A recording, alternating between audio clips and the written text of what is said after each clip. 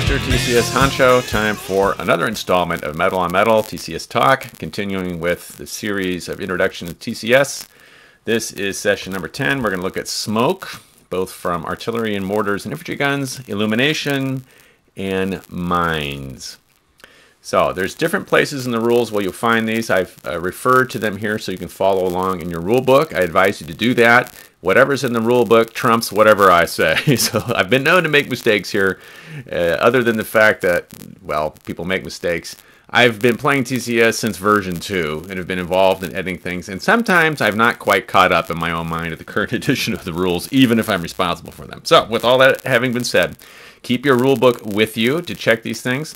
We're going to check, like, like I said, we'll look at the smoke, both artillery and uh, smoke from mortars, illumination rounds, same deal. And when I say mortars, I mean mortars and infantry guns both. And then we'll look at mines. Mines, uh, in my experience, is something, minefields uh, are things that beginners tend to ignore. And that's because they're sort of near the end of the rule book. There's enough to worry about, think about when you're learning the TCS. But as long as the game allows mines, each specific game will state in the rules whether minefields can be placed or not. If there's nothing prohibiting them, keep those in mind because whenever you implement a prepared defense op sheet with infantry platoons, you can lay mines and they can actually help quite a bit. So we'll talk about that in just a bit. What happens when units cross mines and how do you breach mines so that you can cross them safely without being attacked. First of all, let's do some basics on smoke. There are smoke markers in the game. There are markers like this one here. They have a 1 and a 2. That's for artillery smoke. There are also mortar smoke, uh, mortar smoke markers. Each of these markers has an infinitely high level of smoke that's going to block line of sight. Also, smoke fills the hex sides. That's important if you're tracing line of sight along a hex spine in order to uh, use artillery smoke, treat it exactly like you treat a, normally, a normal artillery mission, but declare that you're using smoke ammo instead of HE or whatever else you might be doing. Roll for it normally, you need to uh, roll for adjustment, and you need to achieve at least a bad shoot for artillery. This can also be a result of scatter. Remember that when artillery missions scatter, you roll to see where they land, and then they're bad shoots, so the, the smoke will appear there. If you are firing mortar smoke, you have to roll on the mortar and infantry gun smoke table, which means that you've got a 50-50 chance that it's going to go off. And the mortar is still marked as fired, even if no smoke uh, marker is placed. That represents them trying to lay out smoke, but the smoke just dissipated or wasn't put in the correct place. You can see into, fire into, and out of smoke hexes, but not through them. Smoke cannot be placed in all water hexes. If it scatters there from an artillery mission, the ammo is expended, but it's treated as a no-shoot. Smoke does not affect movement. In some games, uh, there's a, an increased movement cost to enter smoke hexes, not in the TCS system. One important aspect with this, when you have an artillery smoke marker with either 2 or 1 here, that affects not only the hex it's in, but also all six surrounding hexes, including their hex spines that fills out the, um, the hex sides of those hexes as well. Smoke disappears with time. Artillery smoke lasts two turns. That's why it has a 2 and a 1 on it. When you initially fire and successfully place an artillery smoke mission, place it on the 2 side. At the end of the turn, during cleanup, all artillery smoke is reduced or removed. Any level 1s are pulled off, any level 2s are flipped over to level 1. Infantry and mortar gun, no, no, let's say that again, mortar and infantry gun smoke is not removed in the cleanup phase, but it's removed at the beginning of the player phase who fired it. And this means that the smoke will last until your next action phase. And that might not be long. For instance, if you're in the second action phase in one turn and then you're in the first the next, the smoke's going to go right away on the sort of opposite uh, side of things, if you're the first player in one action phase and fire smoke, and then you're second the next turn, the smoke's going to last quite a while. All that to say that mortar and infantry gun smoke is tied to your action phase, not the cleanup phase at the end of the turn. Illumination is similar. Illumination, uh, well, similar and not similar, obviously. Illumination has a radius of 3 for mortar illum or 5 for artillery. That's what it depends on. When you're firing illum as an artillery mission, you do not need a spotter and you actually don't have to roll on the adjustment table at all. All you do is take the artillery illum marker, place it where you want it, and there it is. No fuss, no mess. Likewise, if you're doing mortar uh, uh, illum, you can place it anywhere within range of the mortar and you don't have to roll on table or anything, it's just there. Any unit, and these have a radius, all the hexes within that radius are illuminated. And for spotting observation, they are treated as daylight. So uh, it's a little, it's one way in the sense that if you have targets illuminated and you're not illuminated, you can see them, but they cannot see you. Um, when you are firing at or dealing with a hex that's illuminated, you don't have the night effects on the fire table, but the morale table still stays the same. They're still considered you have the negative morale um, negative morale effect for nighttime. Illum only works during the night. If it's a dusk or dawn, it doesn't help. So the, the, the, the your line of sight will be pretty limited during dusk and dawn. It's removed like smoke. So artillery illum is, is removed during cleanup. In mortar and infantry gun illum is removed at the beginning of your next action phase. If a unit is in an illum hex, it can see other illuminated hexes, but it can only see non-illuminated hexes that are next to it, a range of one. They're sort of blinded a little bit. Now at night, often the visibility is one hex anyway, so that doesn't really matter, but sometimes it's two. So it, you could see the case where uh, a unit that's two away in, in a, a non-illuminated hex at night can't be seen by a unit in illuminated hex. So that's, that's something that can happen when you're playing. Let's look at minefields. Minefields, first of all, are neutral. That is, they're not friendly and enemy minefields. They'll attack anybody, equal opportunity aggressors. It costs two extra movement points to enter a minefield hex. If you move into a minefield hex, you move into it, you undergo any overwatch fires and any attacks by artillery, by continuous fire missions that are out there still. And then, um, and you can actually assault into a minefield hex too if it's occupied by an enemy. That's fine, but the minefield will attack you first. It attacks, if you're moving in with foot movement, it attacks you with strength of 18. If you're moving in with vehicle type movement, each step you roll two, two um, six-sided dice, add them up on an 8 or a higher, that step is eliminated. In other words, that's close to 50% casualties. I can't ever remember playing a game where somebody ran into a minefield with vehicles. I guess it's possible, not advised. Pretty dangerous. Often uh, the minefields will begin the game in a scenario, but you can place them. How does that work? If you implement a new prepared defense op sheet, for every two infantry platoons on that op sheet, you may place within four hexes of the two infantry platoons who are generating the minefield a minefield. It can go anywhere except a water hex, obviously. So you can place this minefield anywhere within four hexes, as I mentioned, of these two platoons. However, it must be at least five hexes away from the nearest enemy unit. That is one restriction. There's otherwise, uh, other than not dropping it in a pond, there's no restriction on terrain. Yes, it can go into town or village. That's not expressly forbidden, and some interesting possibilities arise from that. Remember again that sometimes you, you can't lay new minefields in a scenario, or there might be a certain number of minefields you can lay depending on the supplies available to the troops in that particular scenario or game. How do you breach a minefield? Minefields attack everybody on the 18 column, as I said before. You can uh, cut lanes through them, breach them, uh, clear them, as it were. How does this work? Dismounted infantry platoons that are not suppressed or paralyzed, that are adjacent to the minefield or in the minefield, in either mode, this should be interesting to you by now, can attempt to breach a minefield. What's the process? As your whole move for that turn, you can't SFA or anything with these guys. This is all they're doing. You declare that you're trying to breach the minefield, move the counter onto the minefield hex. This is a movement-based Overwatch trigger. Now, if you followed my tutorials, you should be scratching your head right now because it can be in either mode. Does this mean that infantry platoons in fire mode are actually moving? Well, uh, yeah. Remember when I said earlier that you have to be in move mode to move, and fire mode you only fire, you can't move? Well, I lied. There's actually this one little exception here. You can move into this. Think of this as the guys crawling on their bellies trying to, to clear the minefield. And so this is the, the one situation, at least that I can think of it, where a unit in um, in fire mode actually moves of its own volition. Fine. It declares that it's trying to breach the minefield, as you would expect if there are any artillery missions ongoing, continuous fire missions, those attack this unit. It's a movement-based Overwatch trigger. Any Overwatch is resolved, return Overwatch possibly as well. If the unit is still there, that is, it's not retreated away, attack it on the 9 column. If, after all, that's just a straightforward die roll, no, no modifiers.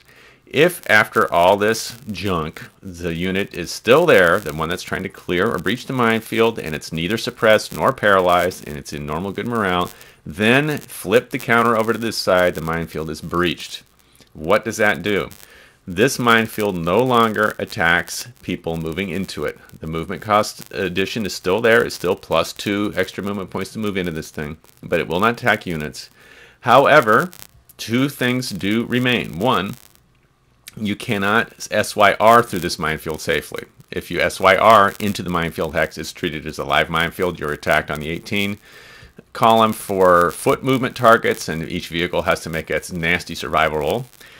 In addition, it's a bottleneck, so if you move into this breach minefield hex playing two, two extra movement points, you're not going to be attacked by it, but the, your opponent has two movement-based Overwatch triggers at you now because you're in sort of thin columns, just those, those lanes that have been cleared. You're a much better target, much easier to see. Okay, let's try to look at some examples of what I've talked about so far. We've talked about smoke, we've talked about illum, and we've talked about minefields. At this point here, I've got some markers out. This is a, a, little situation from GD42 that, in my experience, tends to develop often. In the mid-game, some German units in Galichkina trying to defend themselves against Soviets moving here from the south. So there are a lot of different things that can happen here. If this Soviet formation, say they've got two, it looks like they've got two infantry companies roughly and supporting units, is trying to attack this way, it may decide, the Soviets may decide, all right, we want to reduce the front that we're using to attack here, and we can do that doing smoke. So this would be a fine time, say these units are somewhere spotting, let's call it a smoke mission right about here. If you, are going to have to roll on the table to make sure it's a good or a bad shoot at least, and with the Soviets in this game, that's not a joke. There's already maybe a one-third chance it's going to happen. If this artillery marker is placed during the artillery and aircraft phase, these all these six hexes will be surrounded. And what that's going to do for the Soviets is now only this unit can really see them. This unit is going to be blocked by this hill. And let's just take a look under there to see uh, what's going on. Yeah, per, yeah, and this one's going to be blocked here by the smoke. So that's isolating the, the enemy a bit. All of these units can then concentrate on this one without fear of being shot at or having uh, artillery mission spotted here. Now, since there's only one unit here, if the Soviets are fortunate and they suppress this target, they're going to be immune to artillery fire because only this suppressed unit would be able to spot, and they're suppressed and they can't spot you. So that's a good thing. So that's one good use of smoke. If you've got a mortar sitting out, and in fact we do, let's just put him there, he could then, if this failed, suppose we weren't able to get that off, you can try to do mortar smoke, I would say right about there. That would have virtually the same effect of blocking these two guys. This is a hex spine, would also be blocked. So Soviet unit here, for instance, I don't, I wouldn't put it there. I'd put it right about there. Uh, this unit cannot spot that hex, nor here either, because the spine is blocked. He's safe from artillery spotting from this guy, and if they suppress him, then they're going to be in pretty good shape. They can then spread out, concentrate all their fire, and hope to reduce his position. If they can keep that going for three turns, they might have a chance of uh, getting this guy out. Now, if you've played TCS at all, you know that troops with pretty decent morale dug in in serious terrain uh, like here you see it's partially protective and that's protective even very difficult to get rid of them all right so that's one possible use of smoke and it's really to limit your opponent's ability to fire at you and especially to target you with artillery. That is very much the, the this game too. If it were a night situation, suppose the Soviets were trying to do a night assault and they've kind of uh, maybe have some out here, something like that, then we could try to drop some illum rounds. And if we use artillery for illum, I don't remember if the Soviets actually have it in this game, but we'll just say that they do. Where are we going to want to drop it? We're probably going to want to drop it five hexes away, like this one, two, three, four, five. Or you're, you're, what you want to do is put it so that all of these guys are eliminated, but you are not. Uh, so that's possible. You might even think about putting it there, and that eliminates just these guys, but not him. Well, that's a little strange. Maybe like that. The problem there is that this hex is now eliminated too if the Soviets move there. So do some thinking. Uh, in, in, terms of how you want to do it. Possibly you could use two, one, two, three, four, five. That gets these guys. And then you could drop a mortar one right here to get him. And you'll have all these hexes illuminated. And these will not be illuminated. That might be the, the better tactic to do that. If they're eliminated, and suppose the Soviets are set up like this, and maybe put this tank uh, like here, etc., even something like that. These units would all be able to shoot at this one because the hex is eliminated, but these units cannot fire back because if you are in an illuminated hex, you can only shoot at an adjacent non-illuminated hex. In this situation, the Germans would probably want to drop an Illum round over here to, to even things out a little bit. But if you're um, at night and you have illum and your opponent does not, this gives you all sorts of options of stacking the game in your favor and that you can light up on your opponent and he cannot fire back at you. I encourage you to think about the rules and how you can apply them in such situations like that. Let's look at one more situation and I'm going to pull out some minefield counters first off and we'll play with these. So let's say the Soviets have not yet attacked. They're moving from off map here somewhere. And the Germans have just implemented a prepared defense op sheet. They are allowed to play, place a minefield for every two platoons. There are four platoons here, so they can place two minefields. This is rounded down, so if the Pioniere were not here, the, Ger the Germans would only be able to place one minefield because you round down, they've only got three. We'll give them the Pioniere though, and let's place two. Where to place them? This is a great question. It's actually not at all that straightforward. You can use minefields to prevent the opponent, or at least slow them down from flanking you. So within four, two, three, four, we could put these, say, here. I don't think that has much of a point, though. Because uh, if, if you can't really observe the minefields, the opponent will just breach them in a turn and then move along their merry way.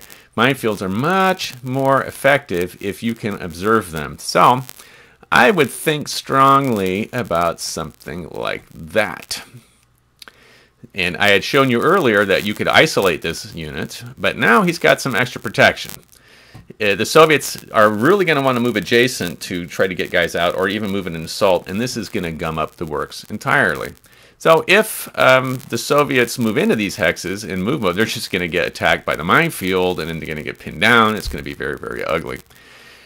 And um, if they move into it to to try to clear it out, they will get all these Overwatch triggers at range one as well. So that's it. Very much discourages during combat uh, uh, the Soviets from doing this.